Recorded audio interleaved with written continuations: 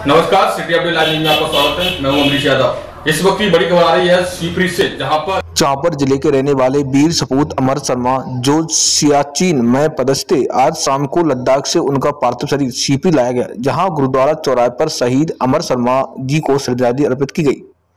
हम आपको बता दें, शहीद सैनिक अमर शर्मा को लेकर ए एवएफ मुख्यालय बालाजी धाम मेडिकल कॉलेज तथा happy days school, Gwalior bypass, चौराहा नवग्रह कम स्टेशन क्रॉसिंग, सिंह निवास होते हुए उसके पितृ निवास के पास पहुँचे।